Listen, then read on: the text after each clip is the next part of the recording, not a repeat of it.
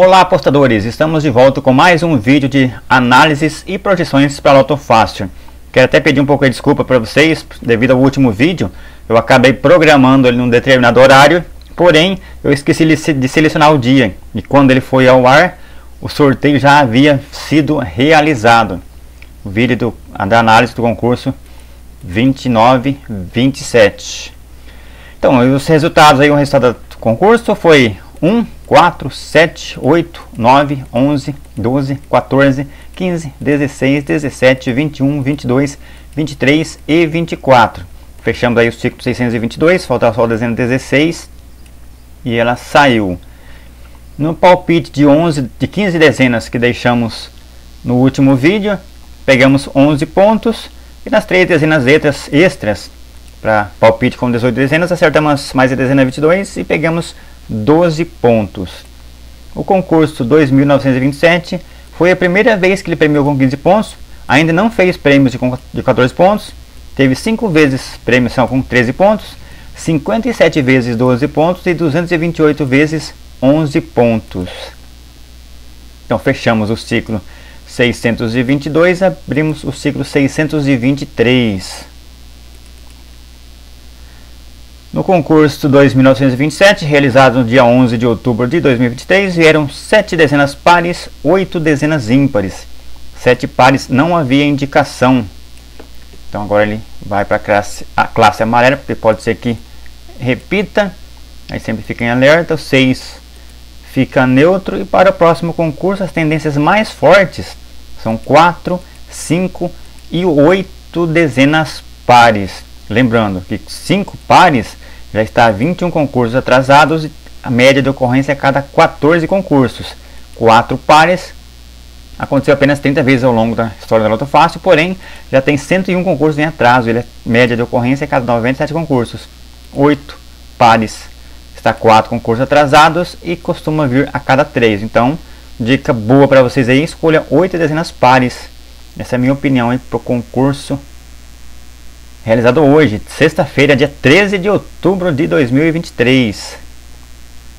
Vieram mais uma vez nove dezenas repetidas do concurso anterior, já estava aqui indicado na classe amarela, permanece.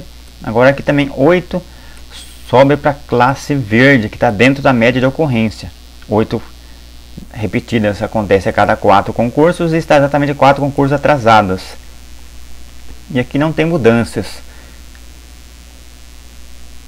Então a tendência mais forte atrás então é verdade. Tem que o 13 também repetidas acontece a cada 420 417 concursos, já está 420 concursos atrasados. Porém é, só aconteceu 7 vezes ao longo da história do Auto Fácil.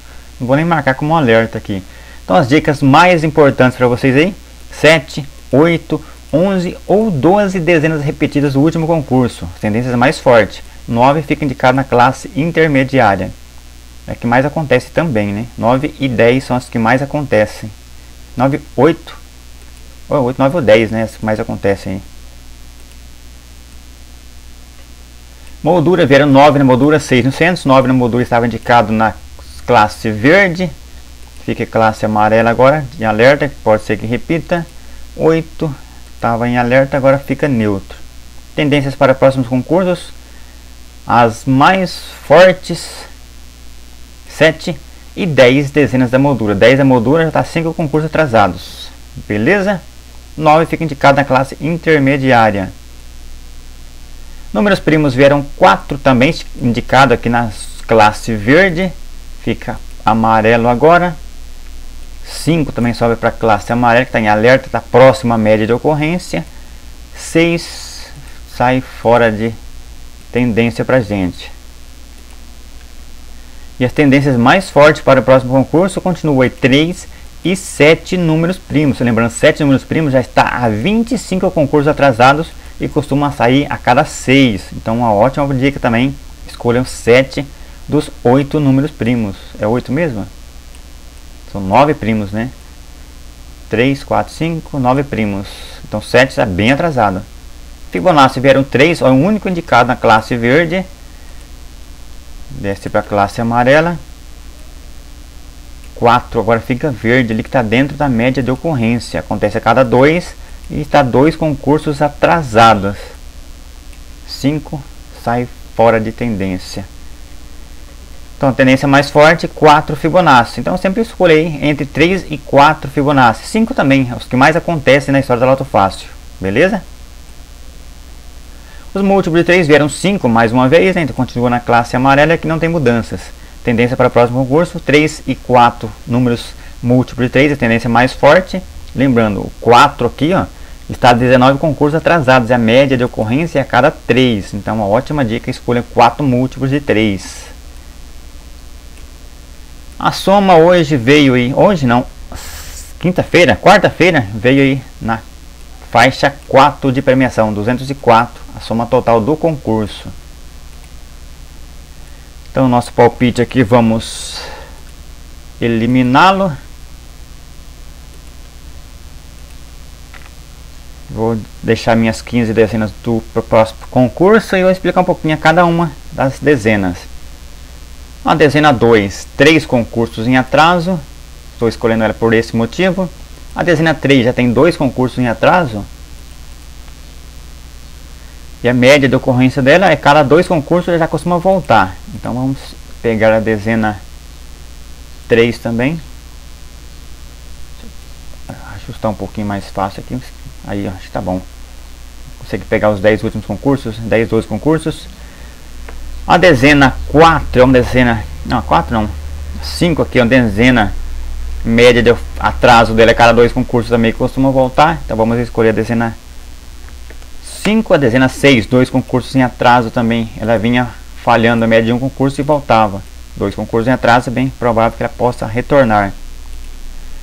A dezena 13, ela havia fechado um dos últimos ciclos anteriores, pegou uma força grande, falhou, veio, falhou, mas eu acredito que ela possa retornar nesta sexta-feira. 13, né? De repente, quem sabe o 13 possa dar sorte para algumas pessoas aí. Dezena 18, tendência de voltar a cada concurso que ela falha já volta na sequência. Pode reparar aqui, falhou, voltou, falhou, voltou. A 20 com três concursos em atraso também. A última vez que ela falhou três concursos, ela voltou. Estou escolhendo a dezena 20 e essa seria o de cima, né? Essas seriam minhas sete dezenas ausentes para o próximo concurso. Das dezenas repetidas, a dezena 4 está muito forte. Dezena forte é bom sempre estar nos jogos nem que seja apenas em alguns, mas tem que estar nos jogos.